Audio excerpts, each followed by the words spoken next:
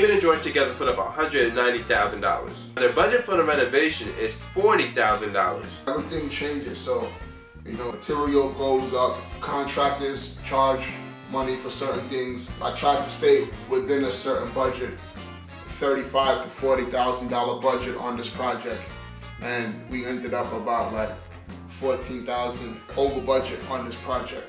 That just goes to show that products, you know, material changes, cost for uh, appliances changes, everything changes. We just did another project a couple of months ago, and and I went there. I went back to some of the same places to get some material, and materials were more, things were more there. It was unbelievable within a couple of months. So that's just the market for you.